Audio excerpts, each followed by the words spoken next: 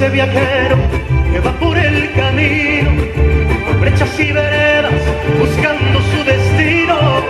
Escucho alegres trinos de ave alburera, rumor de fresca brisa de tierra morena.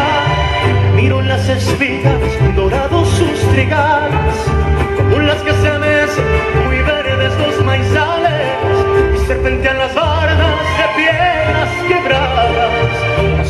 con arcones de adobe blanqueada, la Virgen del Cerrito que alivia nuestros males, nos da sus bendiciones, milagros y bondades, con pelos mexicanos le brindan su canto.